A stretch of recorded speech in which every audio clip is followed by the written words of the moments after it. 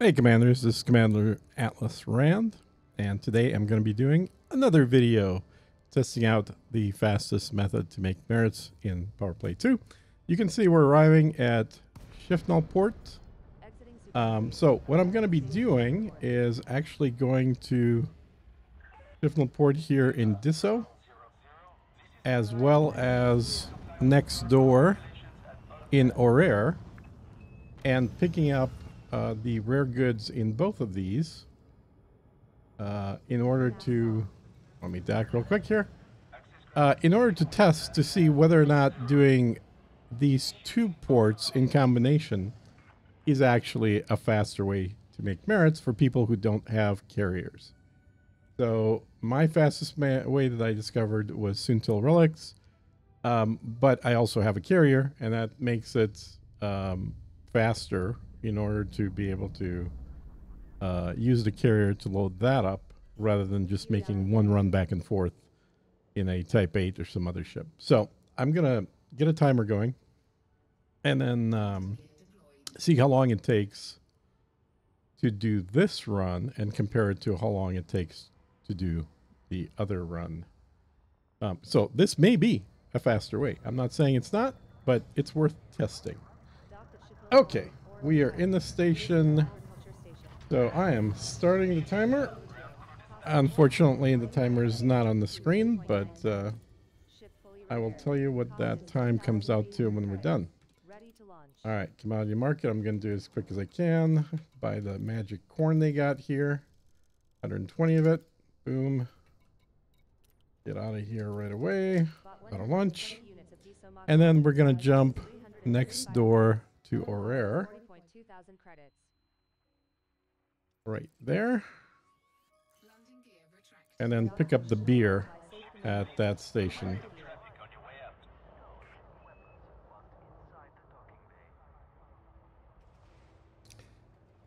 Now, I'm not going to try and save a few seconds here by using manual docking or and manual launching simply because if you're going to be doing this activity for four hours or maybe even eight hours during the day, you're probably going to be doing other things while this is happening. So the automation part of it, I want to have it apples to apples. I had automation when I was doing the other run with Soontill Relics. I'm going to have automation when I'm doing this run.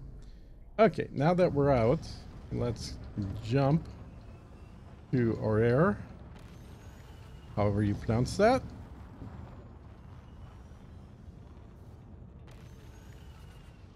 All right, while we're doing this, um, I had a few comments from people saying I was breathing into the microphone. So the microphone is further away now. Let me know if, if it sounds better, the same, worse, or, um, or if it's too quiet.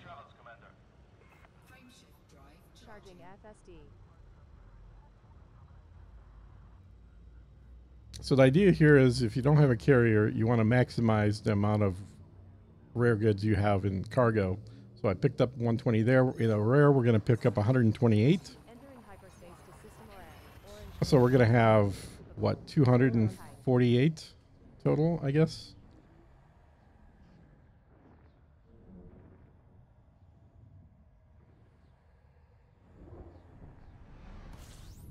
And I've got 320 room in here, so I certainly have room for that.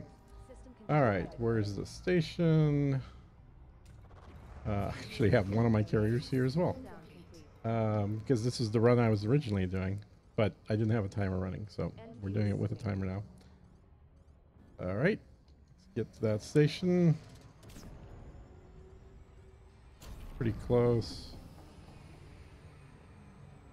Sharon Lee Free Market. And I think this is a pirate run station. If you haven't been out here, take a look at it.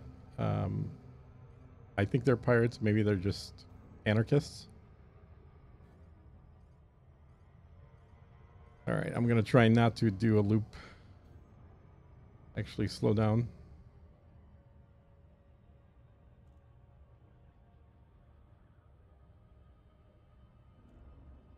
We are three minutes in at this point.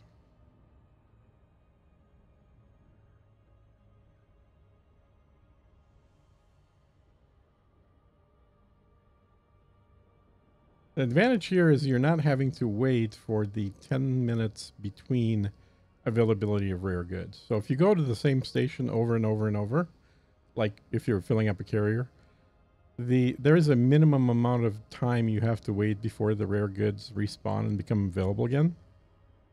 And that time is uh, 10 minutes, which means you can get a maximum of six reloads if you time it perfectly. Um, all right, come on, station, where are you?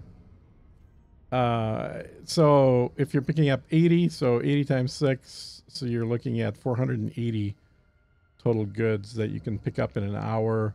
You're probably going to take a little more than an hour because you're not going to be exactly on the 10 minute mark.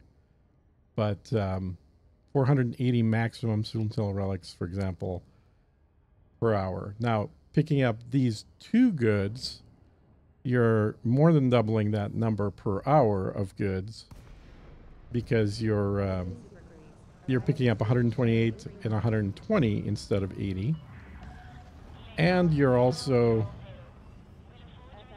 loading both of them without having to wait 10 minutes between them. So let's get in here nice and quick which could mean higher profits and like i said this was the original system i started doing this in but i really found that doing the Soontill relics gave me more merit payout. And I think that's mainly because the Soontill relics cost more. So there's more profit. And the payout is based on distance and profit. And um, Deploy gear. and I think uh, it, it kind of topped out at 200 light years. I did a test at 200 light years or 295 light years, 292 light years, something like that. The payout was exactly the same number of merits. So there's really no point that I found in going beyond 200. Okay, we're landed. Let's buy them right away. Docked at Sharon Lee Free Market. Orbis type. Station economy is agriculture. Landing successful. Dispatching ground Vicious Brew. All right, got it. Now we're loaded up, and we're going to leave the station. Bought 128 Auto launch. We are at six minutes right now into it. And while this is auto launching, I'm going to find a system close to where I've been delivering this. Probably a little further because this is too close. I need, yeah, this is 157. I need something that is, um, that is going to be at least 200 light years. So how about this guy right here? 172. About this one? 179. Over here, 192. Uh, 192. 194, 197. Uh, I don't want to go into a fortified. It's 196. 203. There we go. That's that's where we're gonna go. 203 light years. Here we go. Now, let's get there as quick as possible. Uh, we've got how many jumps? Five jumps. That's not bad. Five jumps, which means we're probably going to be using neutron stars, or well, not neutron, but uh, white dwarfs.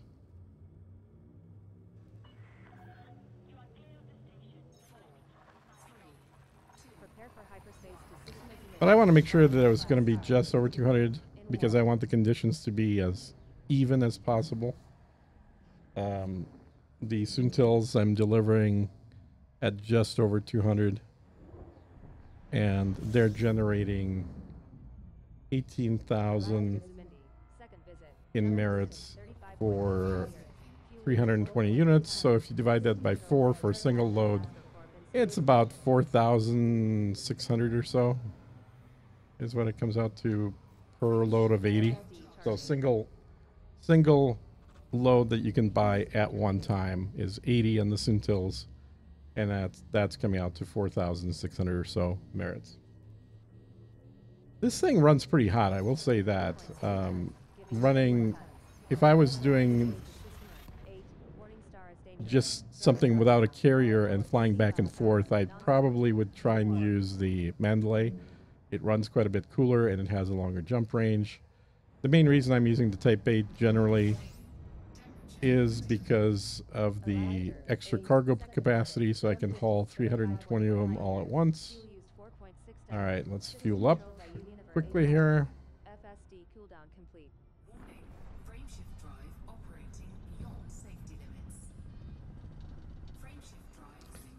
And if you are new to the game, you probably are not watching this video, but if you are, I will be doing a video on how to uh, supercharge um, your frame drive so that you can utilize neutron stars and white dwarfs.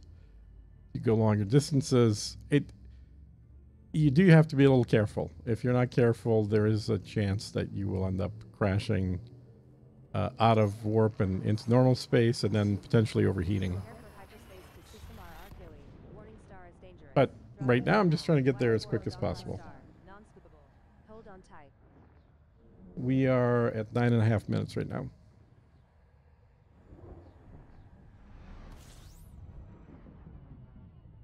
All right. Arrived at RR Cayley. Third visit. Jump distance 48.9 light years. Fuel use 3.8 tons. System controlled by Earth Defense Fleet in state expansion. Scanned 43 bodies. 18%.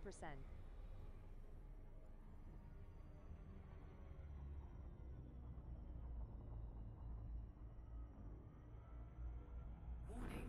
Frameshift drive operating beyond safety limits. Frameshift drive Drive boosted by 1.5 times. Frameshift Retracting drive hardpoints. FSD charging. What do I got left? Two more jumps.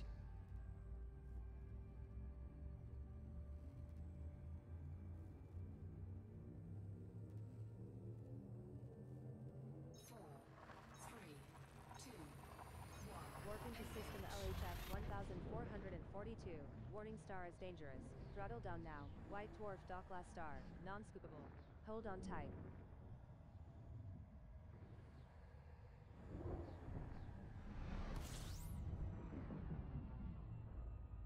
Arrived at LHS 1442. First visit. Jump distance 55.4 light years. Fuel use 5.1 tons. System controlled by Pick'em Public Group. Scanned 33 bodies. Progress is 8%. Current note total of 1 star and 9 planets in the system. Frameshift drive supercharged. Frame shift drive supercharged by 1.5 times.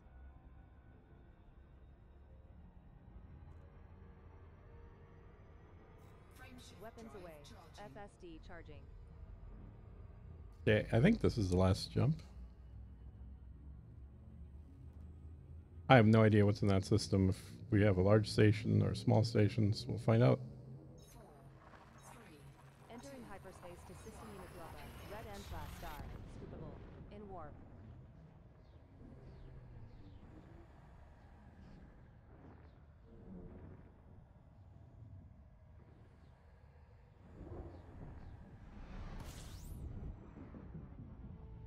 Arrived at Yamakuapa. Okay, and we got a large station. All right, that's good to know. Fuel use 2.4 tons. System controlled by a Settlejet in state boom. Cooldown complete. Current node total How close is it? stars and 16 planets Oh, it's real close. Good.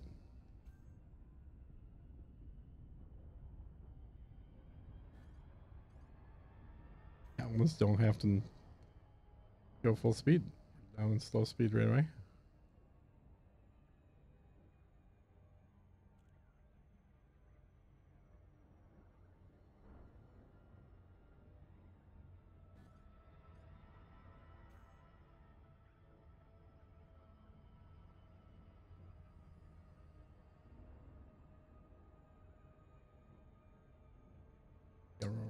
This one. I don't think I've been here.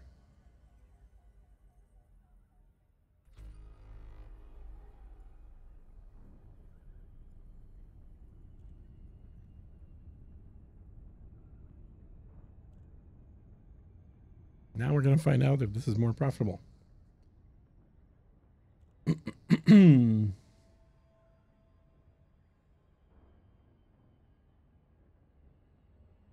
And honestly, if this is more profitable, this may also be more profitable with a carrier. I don't know yet. That's why we do all the tests. Target station Frobisher terminal. Lincoln, zero, zero, zero. You may access this FSD station by cooldown submitting complete. a prior request. Access permitted. Plot route for approach to landing pad lock. FSD not available. The voices you're hearing, I've got um, what is this thing called? Uh, EDD EDDiscovery running. EDDiscovery has a voice option that ends up providing voice readouts for a lot of things in the game. It's a very good software, highly recommended. At some point, I'll actually do a video just on that piece of software.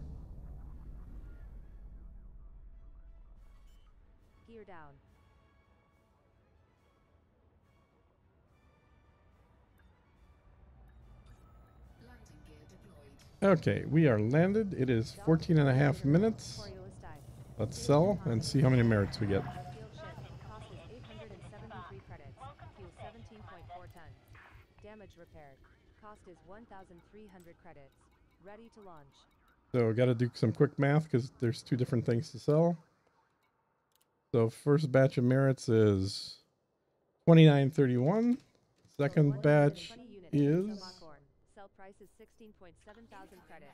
Total sales 31. So 20. So yeah, over 6,000 for sure. Sold Uh, 29, 31. So yeah, 6,100 merits. 17.1 thousand 6,100 merits. We are at 15 minutes right now. But to really make it a true test, we have to fly back, do a full round trip. So start to finish, and that'll tell you how long it takes to make 6,100 merits.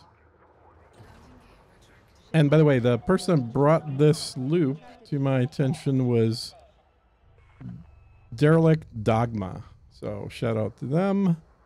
Um, although I technically I did this loop, I was just doing it with 100 years previously. I had my courier out here, but it just seemed like it wasn't generating as much money as the the Soontill Relics loop. Okay, so let's just go right back to uh, well, it's not Soontill. It's uh, where'd we come from? Um, uh, Oh. Diso. There we go. that's where I started. So go back to so that, and let's see how long that takes to be exactly where we started. I'm gonna try and get this back there in about five minutes, but we'll see how long it takes. Uh, total of four jumps back because we're later.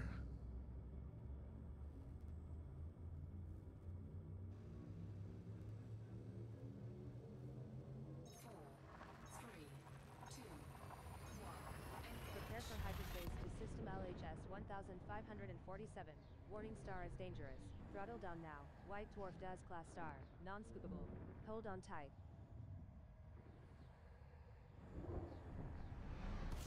Yeah, I think we're gonna be mostly using white dwarves on the way back here. Arrived at LHS 1547. First visit. Jump distance 49.4 light years. Fuel use 5.1 tons. System controlled by Sirius Special Forces. Current node total of 2 Warning, stars and 14 frameshift planets in drive this system. Operating beyond safety limits. Frameshift drive Drive boosted by 1.5 times. Frameshift Weapons away. Main engine charging. Okay, three jumps left.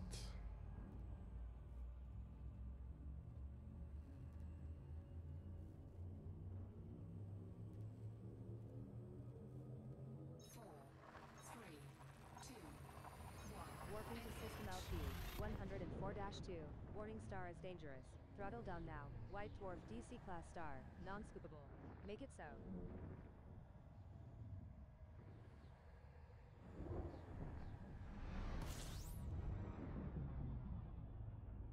Arrived at LP 104-2. First visit. Jump distance 73.3 light years. Fuel used 4.9 tons. System controlled by Minutemen and State Boom. Warning. Scan 42 drive bodies, 13%. beyond safety Current limits. node total of 2 stars and 11 planets in this system. Oop, didn't get enough fuel. Okay, this is going to be a slight slowdown, but that's all actually part of the uh, part of the risk here. Um, sometimes you may not uh, get all the fuel you need in one jump through here. There we go. That's not 1.5 enough. All right, now we're supercharged. Retracting hardpoints. Charging FSD.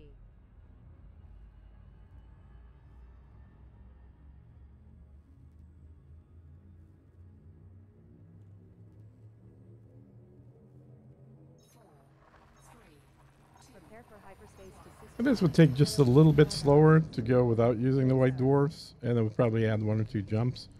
But honestly, the difference in time is not huge because without the white dwarfs, um, you're just going around the sun and jumping right away.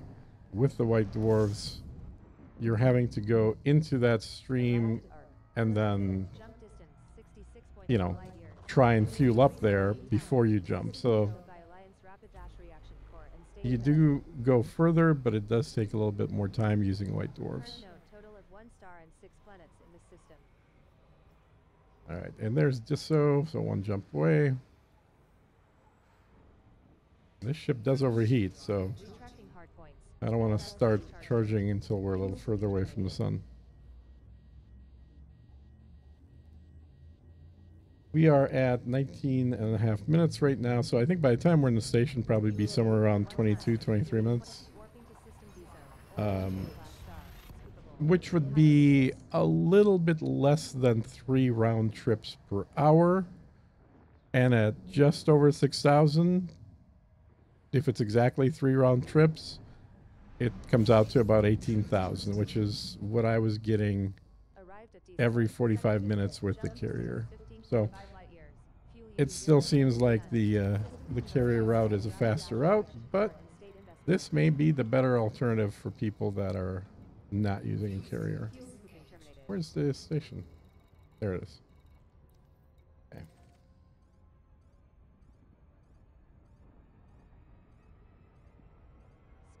Pretty close. Just accelerate a little bit. 0.9 tons.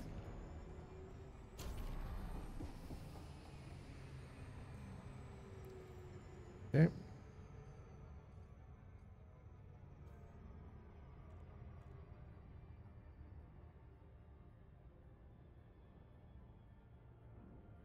We're at 21 minutes.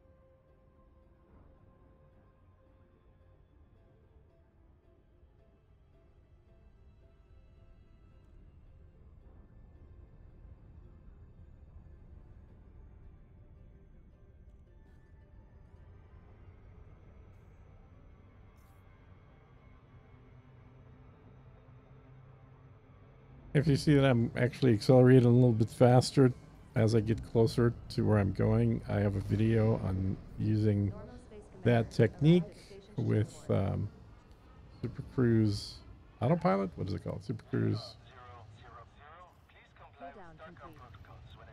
Yeah. Anyway, all right, let's park and then we'll stop the clock as soon as I'm actually parked in the station. In mass lock. and we'll tell you exactly what the round trip time was. Um, keep in mind, I did have that uh, uh, double fuel situation with the White Dwarf, but honestly, something is always going to delay you a little bit. So uh, if you can do it in less time than I did it, great. But your average time may still be pretty close to what I'm getting here. And I started the timer in the station right before doing the purchase. So we're going to stop it in the station when I'm fully landed, right at about the time that I could do a purchase, but I'm not going to do one, obviously. I'm just going to park here. We are at 23 minutes right now. And support sources. Okay, 23 and a half minutes roughly. So 23 and a half minutes.